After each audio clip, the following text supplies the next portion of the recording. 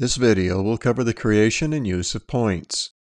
Points allow you to use them in sketch figures, create planes via three points or vertices, dimension or constrain sketch figures to them, use them with assembly constraints. How to insert points.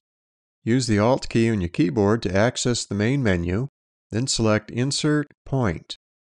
Right-click and select Insert Point from the pop-up menu. Points can be created through the coordinate entry dialog using x, y, and z coordinates, along the linear edge of the model using the ratio option, at the center of a cylindrical edge, at a vertex, at the intersection of three planes or faces, at the location of a sketch node.